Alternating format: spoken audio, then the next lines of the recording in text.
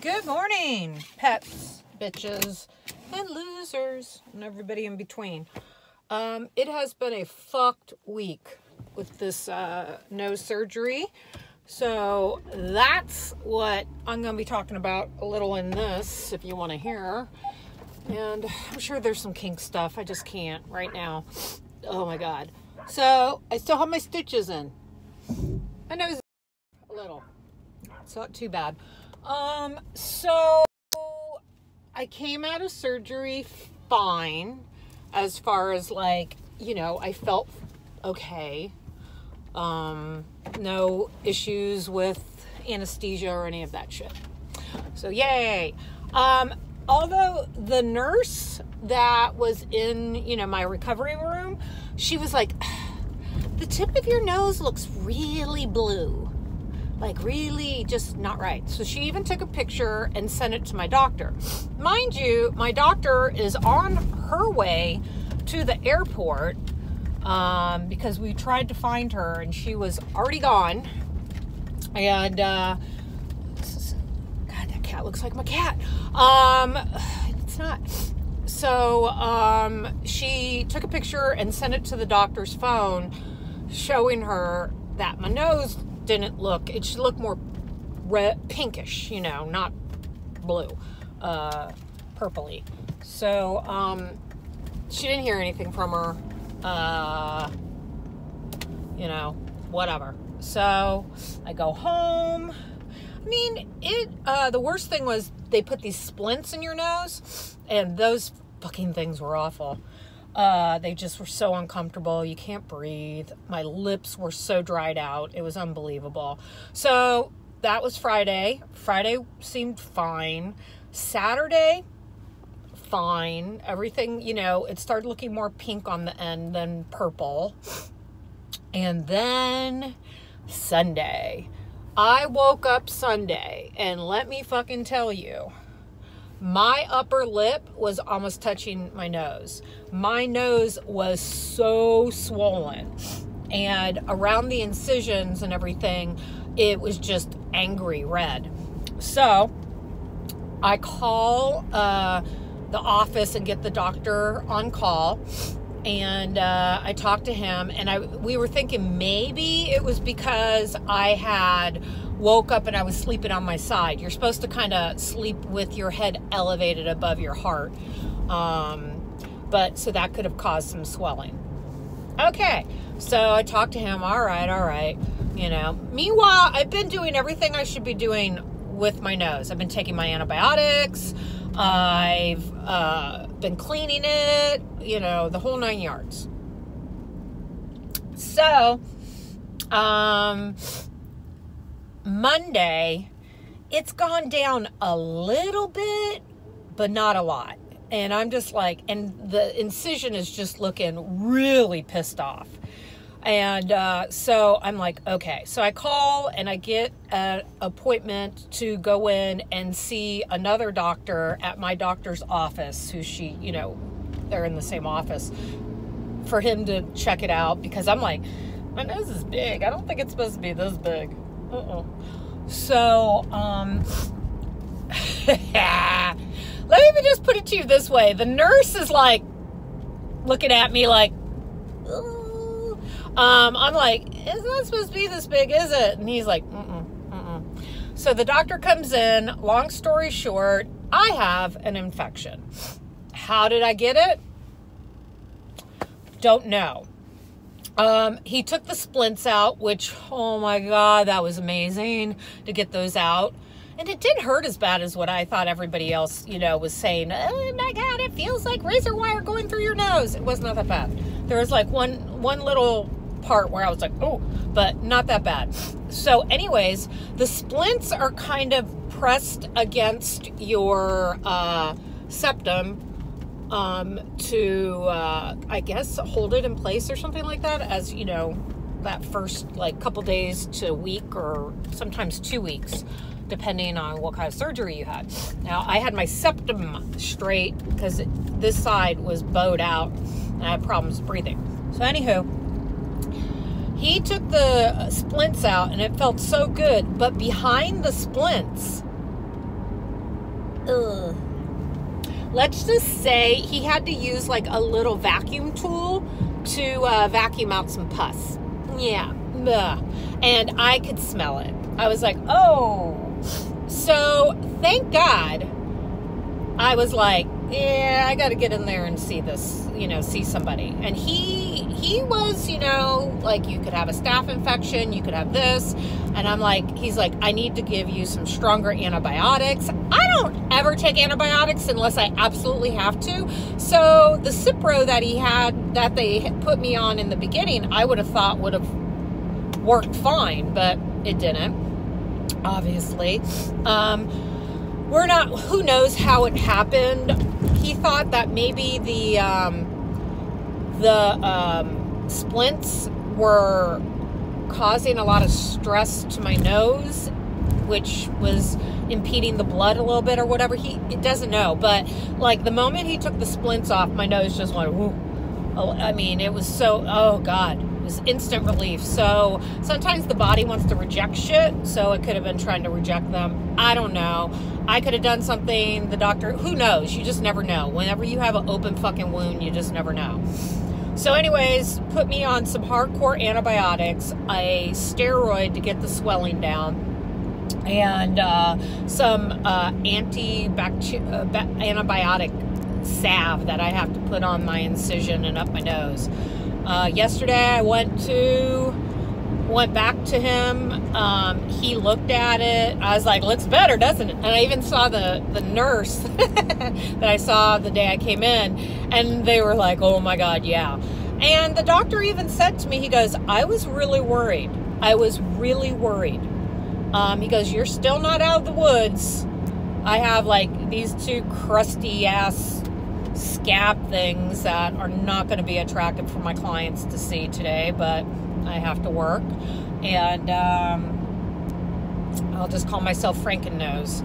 Um, there's like this bump here and one here. I think they're I think there's some type of sutures. So they're making my nose stick out here. I'm not too happy about that. I see my doctor on Monday. So yeah, it'll be nice to you know, talk to her about all this and hopefully these little bumpy things, uh, those come out because this one feels like a fucking rock. And my nose should go down more. Uh, I like my profile. The tip right now, not so much, but it, it, I didn't get it for the aesthetic part. I wanted to really kind of keep my nose the same. Um, I can't feel the tip. Um, so yeah, it's just been a really fucking shit week. Uh, five days of it, I was feeling pretty shitty um, because of the infection. Um, yeah. so that's what I've been doing, and that's why I haven't been video recording or doing anything. Um, getting kind of interesting on Twitter because I was fucking bored shitless and I was just kind of sitting on my computer. So, uh, yeah, I'm trying to think. I'm trying to think. If there's anything. Well, how was everybody's Christmas? Did you guys enjoy? I saw a lot of uh, people on Twitter being like, I hate this time of year, the holidays suck, I'm alone, and da da. I get it. Like, I totally get it. Um, I get it. People get lonely. We, we, people are tribal we like our tribe. So I do think that most of the time people that are in the sex work industry or whatever, and I won't say everybody, so don't fucking go, go ape shit on me. But, you know, a lot of people that I've worked with in the past, let me just put it to you this way the family dynamic isn't the best. Um, I don't have family. I've talked about this before. My family's my kids, my little puppy dogs.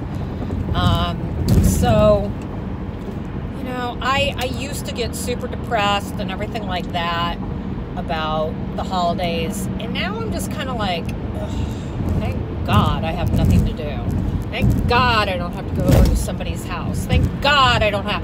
And that's that's kind of sad. When I was younger, I always had to do something. I always had to be doing something. But now life is just so much more busier. So yeah. Um, have you guys heard of FetLife? So FetLife is basically a website for fetish people that are into fetish. It's kind of like a, a networking site social networking site. Um, yeah, so uh, I joined that a while ago. I don't really put a lot of stuff on it. Um, but it was funny because I posted something and then this this sub is like, "Hey, I just read your thing," and I'm like, uh, I just, you know, I was wondering, are you still looking for a submissive or a uh, play partner. And uh, yeah, I mean, I've done financial domination before, uh, but you know, I'm I, I, don't do I don't like just doing online. I, I'd rather do in real life. Okay, you're probably wondering like, why she tripping? Very first word. Hey, you're a sub and that's how you're coming into my DMs is by hey. So I was like, hmm. yeah, even if I was wanting to consider you, you would have to fucking like tighten your game up because I'm sorry, dude. You don't know me. And for you to talk to me that way, especially coming at me as a submissive, makes no fucking yeah, whatever. So, anywho, um, I respond in capital letters. Hey, I only do online work, and now I'm not looking for a play partner. I was just like, play partner? No. No, no, no, bitch. No. So, anyhow, yeah. I was just like, this is FetLife. You would think these motherfuckers would do better than the people on Twitter. Because Twitter, you always get in the DMs, hey, hi. Oh my God. It's like, no. Nip. Nip. So, yeah. If you're going to approach a Dom, do it fucking correctly, people. It's really not that fucking hard. You know? Hello mistress, hello queen, hello goddess, whatever, but not hey. Uh, it just drives me absolutely nuts. Um, so yeah, there was just a lot of ridiculousness on uh, Twitter with people and subs. It's just like days of our tweet. I swear to God, it's just such a fucking drama fest. And I don't understand why these girls just continue to let it fucking roll. It's ridiculous. I mean, it's like, it's like, just stop. Just delete, move the fuck on. Why are you like getting all, you know, I think I've just grown tired of even if I know shit is right, you get to a point where I'm like, I'm not gonna fucking argue anymore. Fuck you. Your your opinion to me does not matter like that. So I'm moving the fuck on. I don't care. Um, if it's you know you're having a debate or argument with somebody you do care about or that does matter in your life, I could understand you know trying to fight for what you really believe it to be or is. But this just constant fucking you know, if, you guys, seriously, can't be too fucking sensitive in this fucking world. You really can't. You really cannot. There is going to be so much shit that you're going to come across that is going to offend the fuck out of you. You know? But guess what? Some people like that.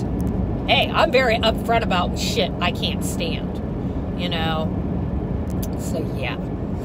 Um, oh, one thing I had a sub contact me, Goddess, I would like to worship you. I was like, okay. Read my pin tweet and read my tweets. See if I'm even the person you want me to be in your little head.